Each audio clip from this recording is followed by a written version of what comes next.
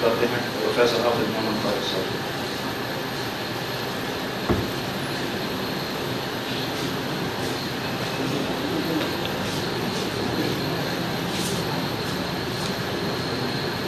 جناب مہمان کی خصوصی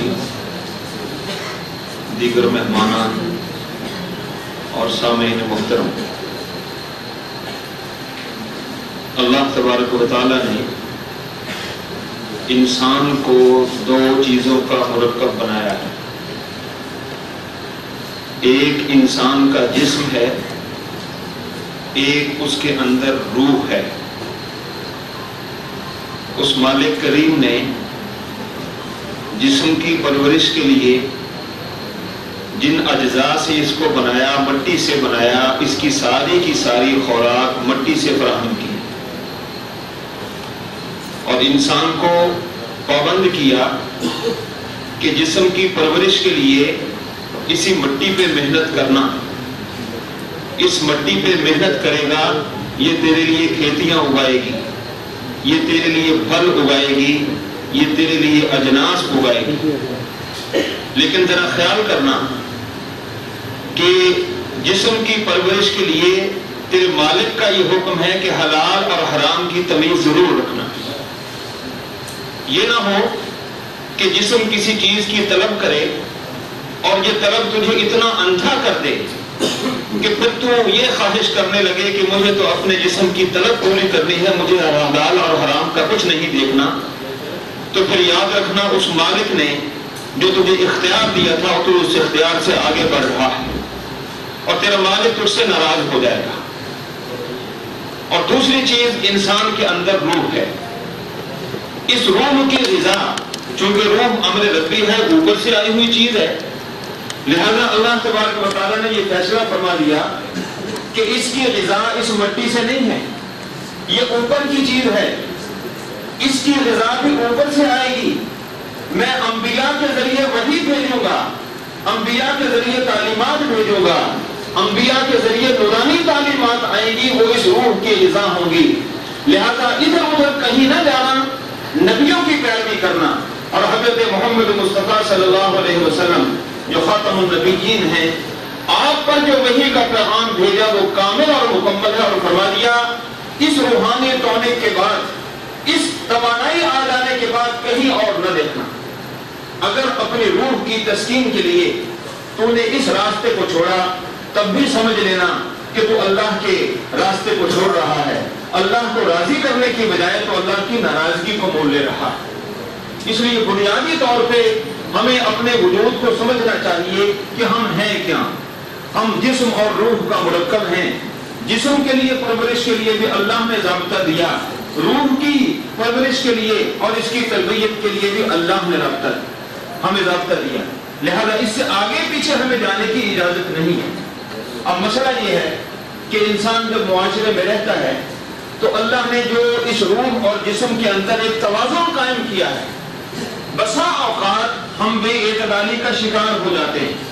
وہ توازن قائم نہیں رہتا۔ اللہ کا حکم ہے کہ واقعی اور وزن بالقسط۔ عدل و انصاف کے ساتھ اس توازن کو قائم رکھنا، اس اعتدال کو برقرار رکھنا افراد و تفرید کا شکار نہ ہونا، نہ بہت آگے بڑھنا، نہ بہت پیچھے جانا۔ اللہ نے جو ایک عدل اور توازن کا تمہیں پیمانہ دیا ہے اس کے اوپر قائم اور قائم رہنا تمہاری زندگی میں فساد برپا نہیں ہوگا۔ لیکن معاملہ خراب وہی ہوتا ہے کہ جب میں اپنی خواہشات کی پیروی کرنے لگتا ہوں یا میری خواہشات اس درجہ آگے بڑھ جاتی ہیں کہ پھر وہاں دوسرے کی حدود میں میں مداخلت کرنے لگتا ہوں، تو پھر وہاں اللہ تبارک و تعالیٰ نے ایک ضابطہ بھیجا، جس کو ہم قانون کہتے ہیں کہ اس قانون کو حرکت میں لاؤ۔ انسان کو اس کے دائرے کے اندر پابند رکھو، کیونکہ یہ اپنی ملکیت سے نکل کے دوسروں کی ملکیت کے اندر مداخلت کرنے لگا ہے۔ لہذا پھر قانون حرکت میں آتا ہے۔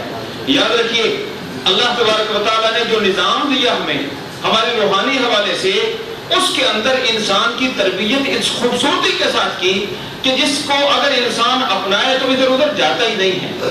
ہم یہ سمجھتے ہیں نا کہ قانون کا شکنجہ ہم پہ ٹائٹ ہو گیا، ہمیں سزا دی جا رہی ہے، ہمارے اوپر زیادتی کی جا رہی ہے۔ اگر ہم قانون کی روح کو سمجھیں، قانون کیوں لاگو کیا جاتا ہے؟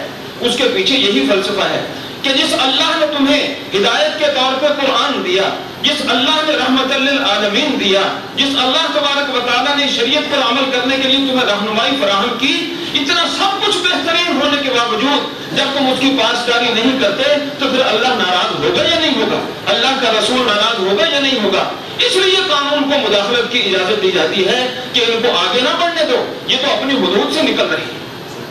ورنہ کوئی، یہ پیچھے جملہ لکھا ہوا ہے کہ دشمنی کسی مجرم سے نہیں ہے، وہ جرم سے ہے۔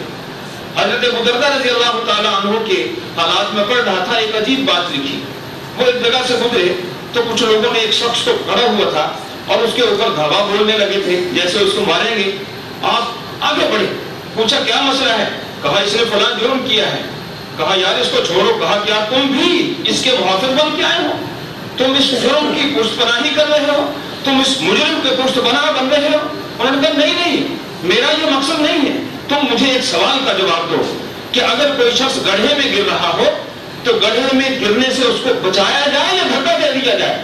کہا جی بالکل فطری سی بات ہے کہ اس کو بچایا جائے۔ کہتا، میں تو یہی کہنے آیا ہوں کہ اس کو سمجھایا جائے۔ اگر یہ سمجھ جائے تو یہ ہمارا بھائی ہے۔ اگر یہ نہ سمجھے تو پھر جرم کی سزا دینے میں میں بھی تمہارے ساتھ ہوں۔ اس لیے رسول اللہ صلی اللہ علیہ وسلم نے جو تعلیم دی اس حوالے سے وہ بڑی جامع ہے، بڑی کمپریہنسو ہے، کسی کے اوپر ظلم و زیادتی نہیں کی معاشرے کے اندر سب سے بنیادی چیز یہ رکھی کہ محبت قائم رکھو۔ آپس میں یعنی عدالت کے معاملات ہیں، لیکن بڑے پنچایت، دیگر محلے کے اندر مسائل پیدا ہوتے ہیں۔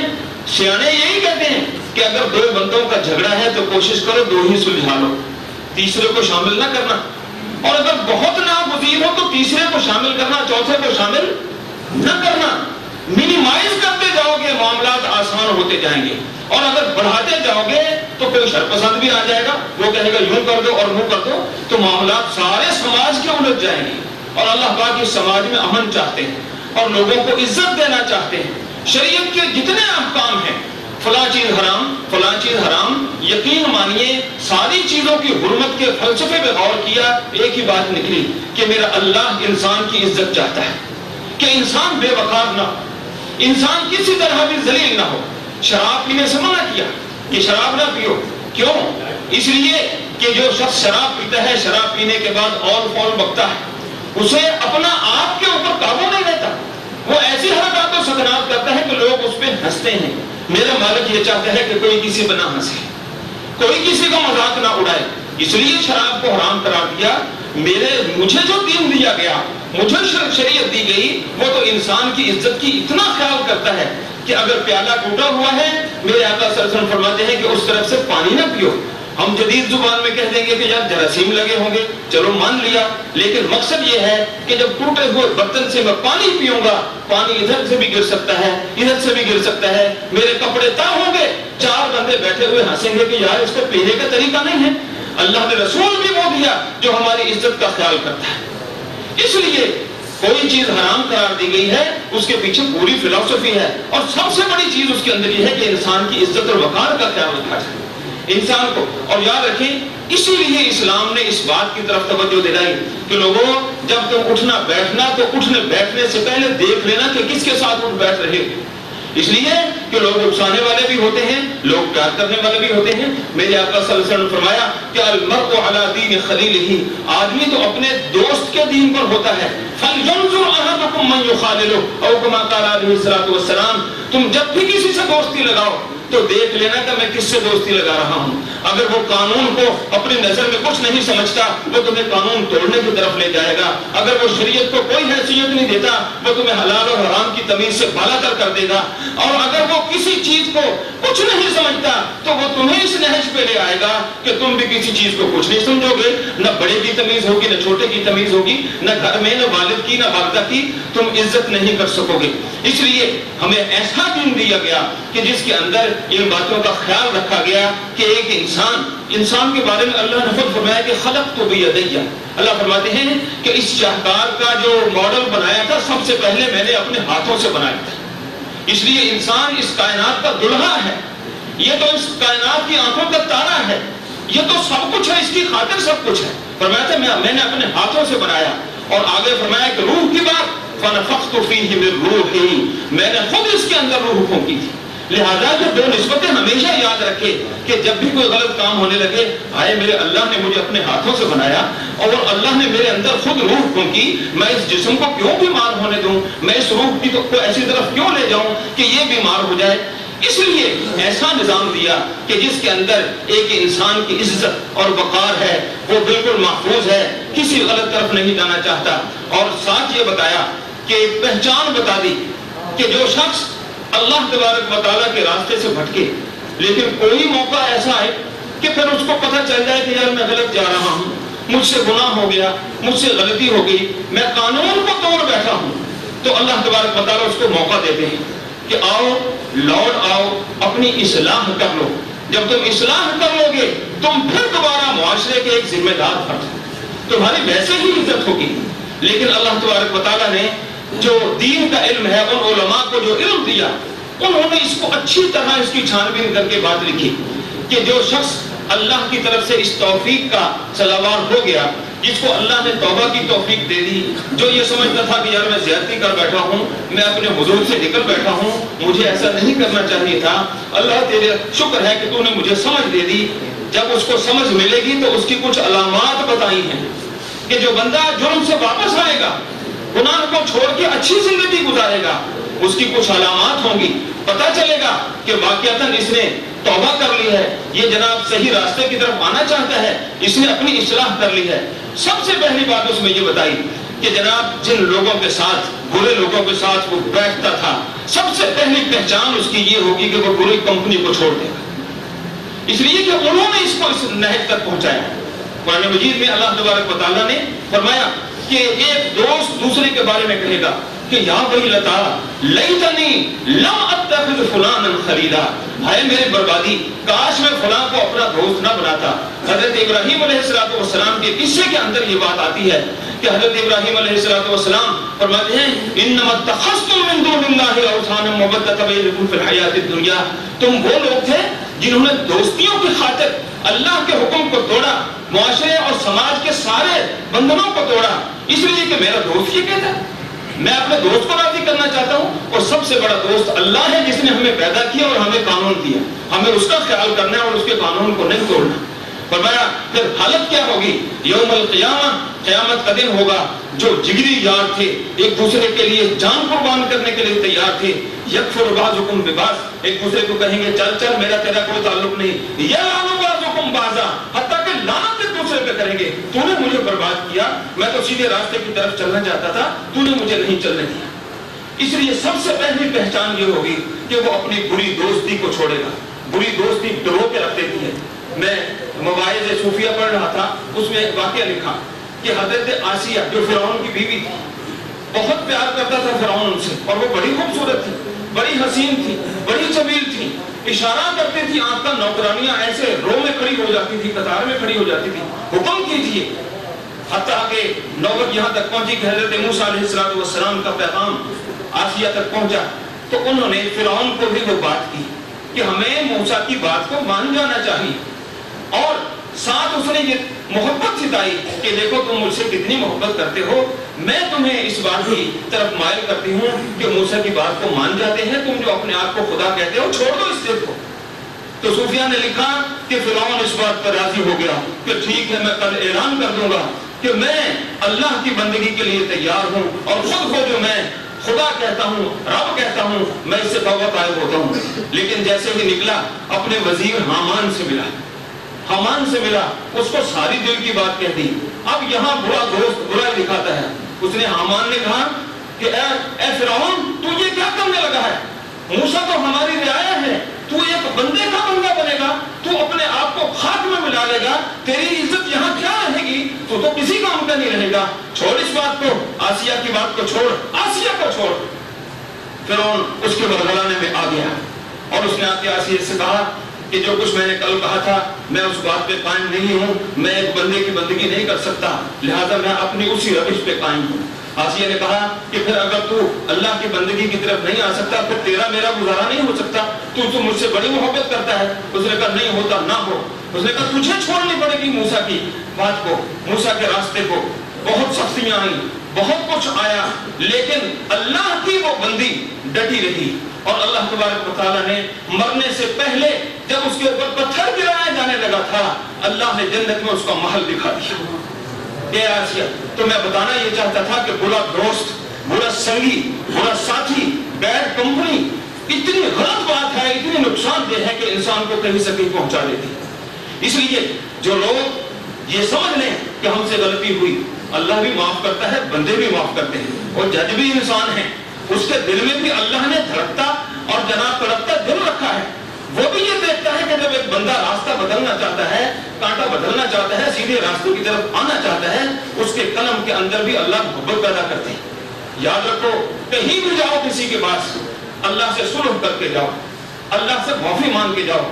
میں نے جب کسی کے بندے کے پاس کسی ضرورت کے لیے جانا ہے، مجھے پورا یقین ہے کہ میرا دل بھی اس کے ہاتھ میں ہے اور اس کا دل بھی اس کے ہاتھ میں ہے۔ جب میں اس سے رابطہ کر کے جاؤں گا تو میرا معاملہ آسان ہو جائے گا۔ اس لیے سب سے پہلی پہچان یہ ہوگی کہ وہ بندہ بری صحبت کو چھوڑے گا۔ دوسری پہچان کہ جو کام اس کے اندر تھا اس کا دوبارہ اعادہ نہیں کرے گا، اس کو دوہرائے گا نہیں۔ بلکہ ان ساری چیزوں سے۔ اور اگلی بات یہ کہ ان سب کچھ کو چھوڑ کے وہ نیکی کے راستے پہ چلے گا اور اس کا عمل بولے گا۔ اس کا کردار بولے گا کہ میں نے اگر توبہ کی تھی اور میں اگر پیچھے ہٹا تھا غلط راستے سے، لوگوں تم گواہ رہنا۔ میں بالکل سیدھے راستے پہ آ گیا ہوں۔ میرا ایک قدم اس بات کی گواہی دے رہا ہے کہ میں نے پرانا راستہ چھوڑ دیا۔ اس لیے علماء نے لکھ دیا کہ جو راستے سے، برے راستے سے سیدھے راستے کی طرف آئے گا، اس کی یہ پہچان ہے۔ اور اگلی ذمہ داری معاشرے کے اوپر ڈالی ہے، سوسائٹی کے اوپر ڈالی ہے کہ جو بندہ سیدھے راستے پہ آ جائے، کبھی اشارتن کنایتن اس کو پچھلا عیب یاد نہ دلانا۔ اس لیے کہ وہ توبہ قائب ہو چکا ہے۔ وہ سیدھے راستے پہ آ چکا ہے۔ تو اگر لوگ کہتے ہیں کہ نو سو چوہے کھا کے بلی حج کو چلی، یہ گمراہ کون جملہ ہے؟ اور بھائی، حیا اس چیز کا نام ہے کہ جب اللہ کی نافرمانی ہونی تھی، انسان ڈرے۔ لیکن اگر وہاں نہیں ڈرا، تو اللہ سے توبہ کرنے میں کیوں ڈرتا ہے؟ اللہ کی طرف رجوع کرنے میں کیوں ڈرتا ہے؟ قانون کی پاسداری کرنے میں کیوں ڈرتا ہے؟ اسے فوراً اللہ کے راستے کی طرف آنا چاہیے قانون کے دائرے کے اندر آنا چاہیے۔ اس لیے معاشرے کی یہ ذمہ داری لگائی کہ جو بندہ توبہ طائب ہو کے اپنے سارے پچھلے حالات کو بھول کے سیدھے راستے پہ آنے لگا ہے، تم رکاوٹ نہ بننا۔ تم اس کو کبھی عیب نہ ڈالنا، کبھی عیب نہ لگانا، تبھی اس کو پرانا پرانی بات یاد نہ کروانا کہ تو تو یہ تھا اور تو تو فلاں تھا۔ اسلام اس بات کو پسند نہیں کرتا۔ لا تلمزو انفسکم، لا تنابزو بالالقاب۔ یہ ساری باتیں اسلام نے ختم کر دی۔ اگلی بات یہ، فرمایا کہ جو شخص توبہ طائب ہو کے آیا ہے، اے لوگوں تمہارے اوپر ذمہ داری یہ ہے کہ تم نے اس کو ایک بہت بڑے دلدل سے نکال کے سیدھے راستے پہ لائے ہو۔ تمہاری اخلاقی ذمہ داری یہ ہے کہ تم نے اپنی دعاؤں میں اس کو یاد رکھنا ہے۔ کہ اللہ اب یہ سیدھے راستے پہ آ گیا، جو کچھ انجانے میں اس سے ہو گیا یا جانے میں ہو گیا اب یہ توبہ کر رہا ہے۔ اب یہ لوٹ آیا ہے۔ قانون بھی اس کی سپورٹ کرنے کے لیے تیار ہے۔ اے اللہ اس بندے کو استقامت عطا فرما اس کو پاک صاحب زندگی عطا فرما اور اس کو اچھے، اس کو پروٹوکول دیا جائے، اس کا اعزاز و اکرام رکھا جائے، معاشرے معاشرے میں جیسے اس کی عزت تھی، ویسے اس کی عزت کو بحال کیا جائے۔ اور میں ہوں، یہ آپ ہوں۔ ہم سب اس بات کے اللہ تبارک و تعالیٰ سے ہم ہر وقت دعا کو ہیں کہ اللہ تبارک و تعالیٰ ہمیں اپنا محبوب نظر بنائے۔ ہر بندہ اس بات کی طلب کرتا ہے اور تمنا کرتا ہے۔ اور اسی لیے اہل نظر نے لکھا کہ اللہ تبارک و تعالیٰ جس بندے پہ رحمت کی نظر کرتے اس کے اندر چار تبدیلیاں ہر ایک میں آپ دیکھیں گے۔ وہ کس منصب پہ بیٹھا ہے، وہ کس عہدے پہ بیٹھا ہے، وہ کس شعبے سے تعلق رکھتا ہے، وہ دنیا کے کس خطے میں رہتا ہے، وہ کس زمانے میں رہتا ہے، کوئی قید نہیں۔ ہر شخص کو آپ دیکھیں گے کہ اس کے اندر چار قسم کی خوبیاں پیدا ہو جائیں گی، جس پہ اللہ راضی ہو جائے گا۔ جس نے دل دھو دیا، صاف کر دیا، اللہ کے دربار میں بچ دیا اور کہہ دیا کہ اللہ، بس، میری بس ہو گئی۔ اور اللہ تبارک و تعالیٰ تو رحیم و کریم ہے۔ اللہ سینے سے لگاتے ہیں۔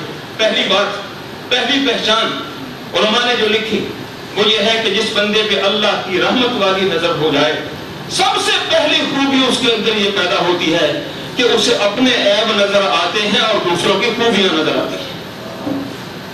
جو اس چکر میں پڑ رہا کہ فلاں کے اندر یہ خامی، فلاں کے اندر یہ خامی، فلاں کے اندر یہ خامی، تو سمجھو کہ ابھی وہ سیدھے راستے پہ نہیں آیا۔ سب سے بڑی پہچان اللہ جس بندے سے راضی ہو جائے، اس کی یہ ہوتی ہے کہ وہ اپنے عیبوں کے پیچھے پڑتا ہے کہ اللہ مجھے سیدھا کر دے۔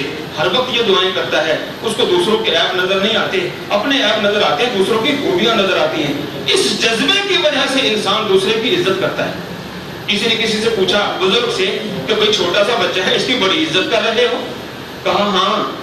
اس لیے اس کی عزت کر رہا ہوں کہ یہ عمر میں چھوٹا ہے مجھے ڈر ہے کہ عمر زیادہ ہونے کی وجہ سے مجھ سے گناہ زیادہ ہوئے ہوں گے۔ یہ تو چھوٹا بچہ ہے، اس کو گناہوں کا موقع نہیں ملا۔ اسی لیے چھوٹوں کو بڑوں کا ادب احترام کرنا چاہیے کہ ان کو اللہ نے نیکی کا زیادہ موقع دیا ہے۔ ہماری ساری زندگی اس چکر میں الٹی ہے کہ میں فلانے سے بہتر ہوں، میں فلانے سے بہتر ہوں۔ جو جس حال میں ہے، مگن ہے۔ یہ بات نہیں ہے۔ پہلی خوبی یہ پیدا ہوگی کہ اللہ تبارک و تعالیٰ اس بدے کے اندر یہ احساس پیدا کر دیں گے کہ خامیاں تو مجھ میں ہیں، باقیوں تو سارے کے سارے اچھے ہی ہیں۔ دوسری بات جو اس کے اندر پیدا ہوگی کہ اللہ کی رضا میں وہ راضی رہے گا۔ اللہ کے فیصلوں کے آگے سر نہیں اٹھائے گا۔ میرے اللہ تو نے مجھے حکم دیا تھا، میں محنت کروں۔ میں نے محنت کر لی، لیکن تیرا فیصلہ اس کے الٹ آ گیا۔ میری زبان سے اپنے دربار میں تو شکوہ نہیں سنے گا۔ اے اللہ، میں تیری رضا پہ راضی ہوں۔ دوسری خوبی یہ ہوگی کہ بندہ اللہ کی رضا پہ راضی ہوگا۔ تیسری بات یہ ہوگی اس کے اندر کہ وہ اللہ کی مخلوق سے محبت کرے گا۔ اللہ کی مخلوق سے محبت کرے گا۔ اس کے اندر یہ بہت بڑی چینج آئے گی۔ اور سب سے بڑی بات یہ کہ اس دنیا تمیزی دنیا کی خاطر، حلال حرام کی جو تمیز ختم کر دیتی ہے، وہ اس دنیا سے دل نہیں لگائے گا۔ اس دنیا کی حیثیت کیا ہے؟ اس دنیا کی حیثیت یہ ہے کہ جیسے ایک کشتی ہو پانی کے اوپر تیرتی ہے۔ جہاں مرضی آپ چلے جائیں، وہ آپ کو لے جائے گی۔ لیکن اگر پانی کشتی کے اندر گھس گیا، ڈوبے گی، سب کو لے ڈوبے گی۔ اس لیے فرمایا، دنیا کو ایسے رکھنا ہے کہ اس کے اوپر تیرتے رہو۔ اس کو اپنے اندر نہ آنے دینا۔ جس دن یہ تمہاری دل کی کشتی کے اندر سوراخ کر کے اندر آ گئی، یہ تمہاری لٹیا ڈبو کے رہے گی۔ اس لیے میرے عزیزوں، میری تو کوئی حیثیت نہیں ہے۔ بڑے بڑے لوگ پڑھے لکھے اس فیلڈ کے ماہر ہیں۔ میں تو صرف یہ بات کہنا چاہ رہا تھا کہ اللہ تبارک و تعالیٰ جب اپنے فضل و کرم سے رخ موڑ دے تو پھر اللہ کی نافرمانی کرتے ہوئے، ناشکری کرتے ہوئے پیچھے ہٹنا نہیں چاہیے۔ آگے بڑھنا چاہیے۔ اللہ نے خود فرمایا، ومن یتق اللہ جو مجھ سے ڈر گیا، مجھ سے چھٹک گیا، جس نے میرا خوف اپنے دل کے اندر ثابت کر دیا، یجعل له مخرجا تمہارے کام الجھے ہوئے ہوں گے۔ بظاہر تمہیں راستہ نہیں نظر آ رہا ہوگا۔ اللہ کا وعدہ ہے کہ نکلنے کا راستہ میں تمہیں بنا دوں۔